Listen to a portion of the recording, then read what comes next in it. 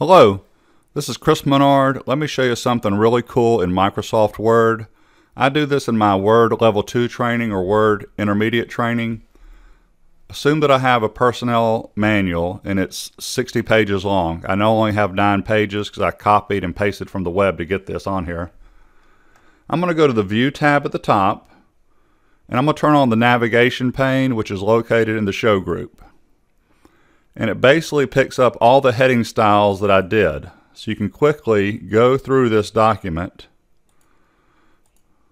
I just want to show you where my heading styles were.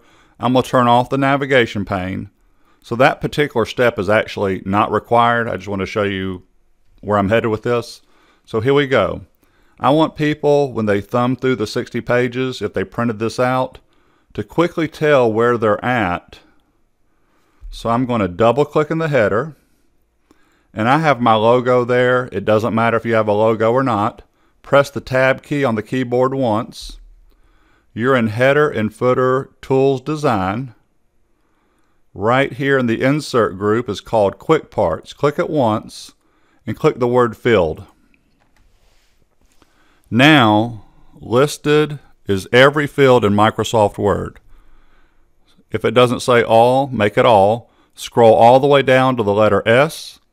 Click on Style Reference one time and click Heading 1 one time. Click OK. So it put in this very first heading 1. I'm going to highlight it.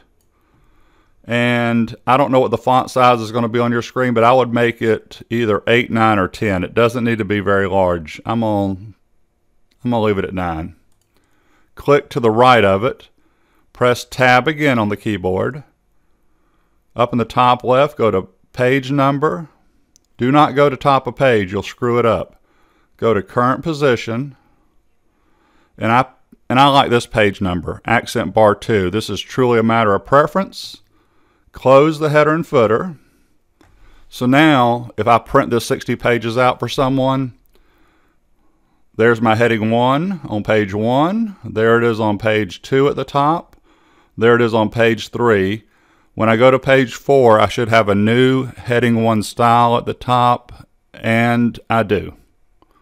One more test, go to the next page, and there you go. Hopefully that's a great trick. That Once again, that's from my Word intermediate class.